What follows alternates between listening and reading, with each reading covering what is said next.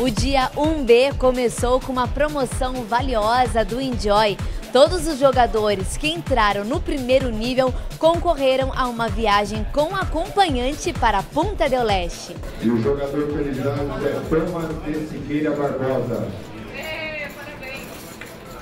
Thomas foi o grande ganhador do pacote Enjoy Prone para Fiquei surpreso, nem sabia que estava tendo esse sorteio e estou muito feliz. Já foi para o Uruguai?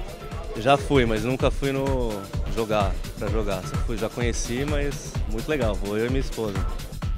E com a criação do programa de recompensas H2 Rewards, cada inscrição no CPH garante 350 pontos aos membros do clube. O programa de rewards do H2 foi maravilhoso. É um programa que você vai acumulando pontos conforme você vai jogando cash game e aí quanto mais horas você joga, mais pontos você acumula. Eu tenho já praticamente três buy do main event, é, mas eu vou jogar um só porque eu vou trocar o outro na passagem por Conrad. É, dá para você trocar por Bahia de CPH, por viagem, tudo. Acho bem lucrativo. Dá para comer também, né? Com os pontos, assim, com a quantidade de horas que os jogadores regulares jogam.